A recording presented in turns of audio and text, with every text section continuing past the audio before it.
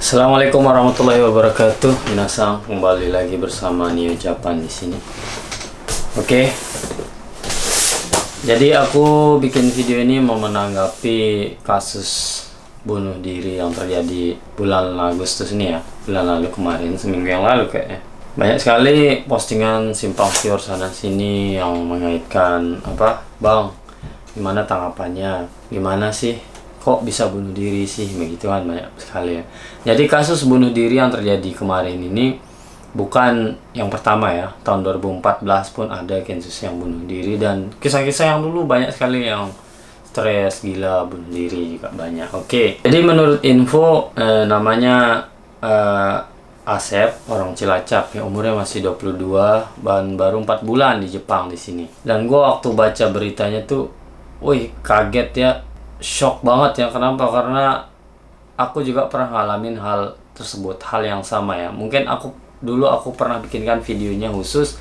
Aku dua tahun dibully di Jepang sewaktu aku jadi anak magang Kensushi baru nyampe Jepang. Dua tahun aku dihajar itu sama orang Jepang ya. Tapi eh, menurut KBRI Tokyo sudah dicek semua kasusnya motif kenapa sedang diselidiki ya. Tapi menurut kabar yang setelah aku lihat-lihat-lihat ada yang bilang dibully lah, ada yang eh, homesick lah, ada urus masalah keluarga lah, apalah gitu macam-macam ya. Sebelum kita lanjut video ini aku mau bercerita banyak pengalaman pribadi dan pengalaman kisah-kisah teman-teman yang lain juga yang mengalami hal yang sama ya. Dan sedikit nasihat buat kalian, buat Kensusi, buat anak-anak yang mau ke Jepang yang sedang belajar di Indonesia dan yang sedang menjalani magang di Jepang. Oke, okay? banyak faktor yang menyebabkan seseorang itu homesick atau merasa stres di Jepang. Itu banyak banget. Contohnya seperti shock culture budaya bisa jadi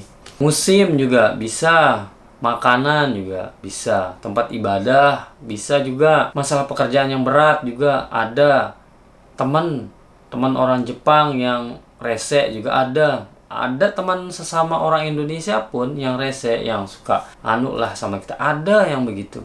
Dan masalah cinta juga. Ada yang bikin begitu juga. Terus masalah keluarga juga ada itu pasti. Jadi kita ngomong kita gue cerita juga ini mewakili perasaan orang-orang yang dibully. Gue mau sampaikan juga sama orang-orang yang ada di Indonesia pun yang gimana sih seorang pemagang itu seperti apa sih di sini jadi Asep ini almarhum nih disayangkan banget ya. Tapi ya mungkin masalahnya berat banget. Yang dia rasain mungkin nggak kuat sampai berani ambil jalan pintas seperti itu. Kalau gua sih tipikal orang kayak gua eh, aku tuh orangnya bisa dibilang keras ya. Keras tuh dalam artian aku tuh nggak mau ditindas walaupun aku kecil aku kurus kecil. Dulu kecil segini gua dulu. Musuhku besar besar orang Jepang apa tapi aku memang orangnya nggak mau ditindas. Dan sekali aku kalau dibully tuh aku tuh harus cerita ke orang. Harus aku ceritakan ke temanku ke sahabatku sama orang lain sama teman Jepang. Gue ceritakan. Yang penting gue udah curahkan isi hati. Apa tuh nak telepon keluarga di rumah kan begini gini kan mirisnya kita itu ya. Di saat orang yang ditindas itu curhat ke temannya atau ke seniornya. Gua gua juga pernah ngalamin cerita dianggap ente dianggap ah biasa aja diketawain. Gua juga digituin dulu. Ini gue denger dengar tadi gue lihat di grup curhat tapi dianggap manja. Ah gitu gitu aja cengeng lah bukan dia doang ya banyak orang lain yang kalau cerita masalah aku di gini di pabrik di gini aku kan sering curhat. Aku kan sering juga cerita di ke kalian ya lewat video-video aku cerita mas masalah sama bos muda masalah aku dibully aku cerita. Kalian yang berkomen selalu ah gitu aja baperan. Makanya jangan ke Jepang. Jepang itu keras coy. Jangan begini gini gini lah. Lo enak ngomen-ngomen gini. Ujung-ujungnya apa? Pasti ya begini inilah jadi Nah aku tuh orangnya begitu, aku tuh ceritakan semua apa pun masalah itu. Sayangnya ini kalau yang mendengarkan nggak ada, yang ngebimbing nggak ada, yang ngerangkul nggak ada. Makanya masalahnya ditanggung sendiri. Makanya buat para senpai tachi yang ada di Jepang, senior-senior yang udah bertahun-tahun di sini, punya kohai atau junior yang sering dibully atau di apa. Setidaknya walaupun kalian tidak bisa memukul orang, orang Jepang atau siapa, lawan bantu saling hantem. Setidaknya kalian dengerin cerita dia. Kalian ajak main hibur. Jangan mau curhat anaknya junior tuh dulu main mobile legend tuh teleponan sama cewek dulu. Selalu ya gampang besok gampang. Banyak yang seperti itu. Bukan cuma senior seniornya juga ya. Penanggung jawabnya juga gitu. Gua juga gua nggak ngomong bullshit ya. Ini reality ya. Banyak orang yang alami gua pernah ngomong sama penanggung jawab gua guru gua pas gua dibully. Pak saya digini gini tahu apa dia? Jawab wakarimasta oh iya mati. Nanti kita ngomongin sabar sabar tenang. Gitu aja dia jawab sampai gua selesai. Makanya gua nggak percaya itu sama yang begitu itu, itu. Dan yang jadi bebannya kita itu kalau kita ngelawan kita dipulangkan ke Indonesia kita takut kita diginiin masa gitu aja manja gini gini gini. Itu yang jadi yang bahaya yang begitu tuh nggak ada tindakan apalah tegurlah perusahaannya apalah gitu ya biar ada sedikit jerahnya dikit.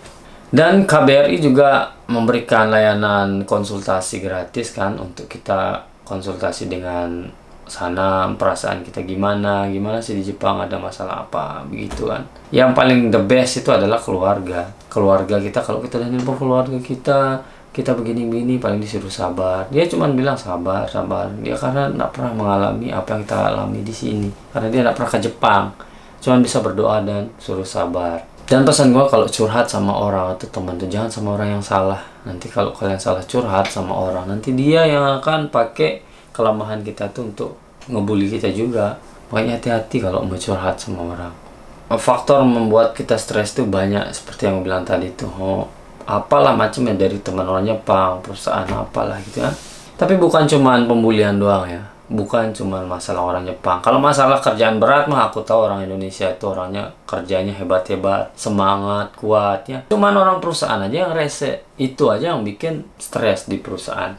Tapi ada perusahaan yang baik, orang-orangnya baik di perusahaan, tapi dia dapat masalah sama orang, masalah cinta, masalah keluarga, masalah teman di luar, itu ada juga yang bikin stres begitu tuh. Pokoknya macam lah. Jadi saran gue buat orang yang sering dibully di Jepang, buat teman-teman, buat anak-anak nih yang mau ke Jepang ini, yang sedang belajar, apalagi yang sudah di sini. Kalau kalian masih baru, kalau kalian dibully, cerita walaupun kalian dianggap cengeng baperan gitu-gitu aja manja nggak apa-apa ceritain. Biasa itu kalau yang udah senior senior tuh pasti ngomong kayak gitu. Kalau dia nggak dengerin cari teman yang lain teman main kalian mungkin ada di Jepang kerap ceritakan semua apa masalahnya. Nggak puas kalian kalian telepon konsul. Kan ada dikasih kita nomor konsultasi itu sama KBRI atau sama Mama Sang ada telepon ceritain semua. Yang penting hati kita plong.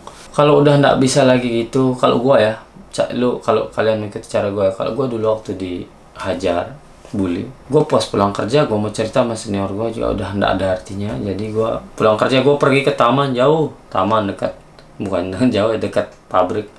Gue nyari orang Jepang orang baru semua gue cari carikan teman gitu. Gue fokus ke sana bikin hati gue happy supaya gue lupa masalah pabrik. Jadi gue senang selama pulang. Besok paginya kerja lagi stres gitu. Tapi adalah balance nya ada yang bikin kita senang ada yang bikin kita stres. Jadi kita nggak stres pulang kerja stres. Sampai rumah kamar stres mikirin gitu. Jadi kan sakit pala kita makanya cari suasana baru di luar. Kalau masih nggak bisa begitu kalian cari masjid atau remaja-remaja masjid. Di Jepang tuh banyak sekali perkumpulan masjid-masjid remaja masjid di sini. Nah, kalian ikuti apa kegiatan di sana nanti kalau gini ya kalau orang-orang yang udah orang-orang yang di Jepang yang sering main ke masjid itu orang-orang yang aku pikir orang-orang yang sudah sadar ya dengan kehidupan di sini itu dia udah ngerti akhirat jadinya. Jadi nggak usah khawatir kalian ikut ibadah sana ikut bersihin masjid kalian bantu gontong royong apa lah gitu di masjid. Nanti di sana kalian akan akrab akan bisa cerita semua sharing-sharing begitu ya. Tapi kalau masih kalian nih udah ke sini ke sana udah stres nggak tahu masalah ini nggak bisa selesai-selesai. Sakit hati. Ya saran gue sih sebenarnya nggak bagus ini saran terakhir gue sih. Kalian kalau udah bosan di Jepang ya bosan dibully masalah banyak. Daripada kalian bunuh diri atau apa saran gue yang paling best tapi kayaknya ini lebih kayak gimana ya. Kalian pulang ke Indonesia kalian lapor ke Kumiai atau penanggung jawab kalau saya sering dibully saya mau berhenti di pabrik atau saya mau pulang ke Indonesia. Bilang gitu aja. Tapi kalian pasti takut kan? Kalian karena penalti atau bayar denda seginian. Tapi kalau dibandingkan dengan bunuh diri mending denda mending pulang ke Indonesia kan? Tapi kalau orang penanggung jawabnya masih bilang sabar sabar harus gini. Tapi kalian sudah tidak tahan. Saran gua sih pulang aja dah ke Indonesia diem-diem. Uang lu yang lu punya sekarang di bank tuh lu beliin tiket langsung lu terbang ke Indonesia. Hari itu juga biar selesai. Kenapa? Kabur ke perusahaan lain mau pindah perusahaan eh pindah perusahaan sana biar dapat eh, orang Jepang yang baik. Enggak semua begitu. Gimana pun kita pindah pasti kita bakalan ketemu ketemu orang-orang yang rese-rese gitu ya itu ini ada kisah nih cerita ini cerita asli temen gue kisah nyata teman gue orang Lombok. Dia baru nyampe Jepang 6 bulan. Mungkin di perusahaan juga orang-orangnya rese ya sama dia. Dan teman gue ini teman gue ini punya teman dua orang. Dia ini rajin ibadah ya rajin ibadah dia taat. Tapi di perusahaannya apa? Di perusahaannya itu ketat nggak boleh pulang cepat. Harus pulang jam 9 malam dipaksa kerja gitu ya pas puasa ndak dikasih lebaran ndak diizinin. Pokoknya ibadahnya hancur lah gitu ya. Akhirnya dia apa? Stres kan? 6 bulan deh di sini. Gajinya memang besar tapi dia stres kan. Tahu apa? Ndak banyak cincong. Pulang kerja hari itu langsung dia naik taksi orang dia tinggal di Nagoya. Dia naik taksi dari Nagoya ke bandara Aichi. Berapa juta dia bayar taksi itu malam tuh. Saya pergi ke bandara tahu apa dia dia cuma bawa dompet sama HP sama baju yang dia pakai. Baju yang dia pakai hari itu. Langsung beli tiket hari ini. Tiket malam ini atau nak besok pagi yang penting dia pulang ke Indonesia. Berapa puluh juta itu dia bayar pesawat pesan mendadak gitu. Akhirnya dia pulang ke Indonesia. Udah selesai aman kan? Dia ndak ngerepotin orang di sini. Kabur sana sini kan? Terus teman gua yang ini kaget. Pas cari dia pagi ndak mana dia? Ndak ada. Tak tahu berkabar saya di Indonesia katanya. Walah buset. Jadinya kerjanya jadi berat akhirnya. Stres dia teman gue ini tambah berat. Akhirnya tahu ditiru sama juniornya. Juniornya pun ini set, dua minggu setelah dia pulang ke Indonesia. Dia pun ikut. Stres, beli tiket, terbang lagi ke Indonesia. Kabur, cus terbang. Akhirnya dia sendirian di pabrik. Karena dia ini tanggung jawabnya ada, dia harus selesaiin kontrak akhirnya dia diem sana. Tahu apa? Semua barang-barang yang ditinggalkan sama yang dua orang itu semua laptop baju semua dia yang kuasai satu rumah. Karena teman gue ini baik laptopnya dibayar setengah apa-apanya dibayarin lah gitu. pokoknya gitu jadi teman gue yang ditinggalin nggak beli apa-apa. Itu barang hasil warisan semua udah dapet. Begitulah. Begitulah kalau sudah dibandingkan bunuh diri pulang kalau kalian udah tidak tahan. Beli tiket hari ini pulang langsung ke Indonesia. Udah selesai urusan.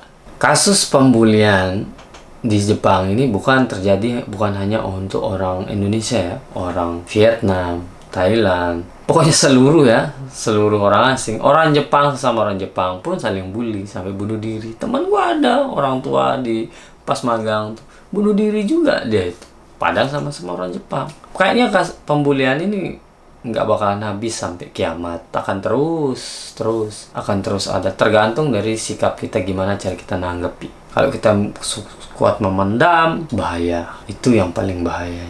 Dan kita balik lagi ke kasus yang ini.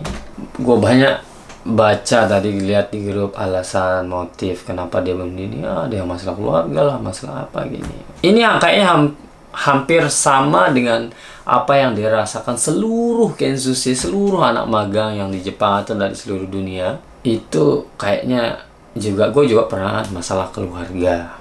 Jadi begini ya, pesan-pesan gue untuk para keluarga, orang-orang yang ada di Indonesia, yang anaknya sedang magang di Jepang, yang tinggal, yang sedang berjuang di sini pesanku, jangan pernah sekali-kali meminta sesuatu yang berlebihan kepada anak kita yang sedang bekerja di Jepang. Di Jepang itu berat, kerjaannya berat, belum dibully, dibentak, kerjaan berat, budaya semua itu pokoknya di situ berat. Dan jadi jangan beranggapan kita di Indonesia itu wah anak saya di Jepang, oi banyak uang, gajinya besar, oi keren ya anak saya gini, oi tetangga ngomong gini, oi anak anak lu di Jepang pasti banyak uang gini gini. Akhirnya keluarga kita di sini, keluarga tersebut mau ndak mau biar diakui atau apa, nelponin anak, kirimin uang 10 juta bulan depan gini gini untuk beli ini ini ini ini. Padahal anak baru kerja, semua susah ngalamin pas itu, termasuk gua jadi pesan gua, anak yang baru nyampe sini atau Kansas itu kerjanya berat, gajinya juga kadang nggak full,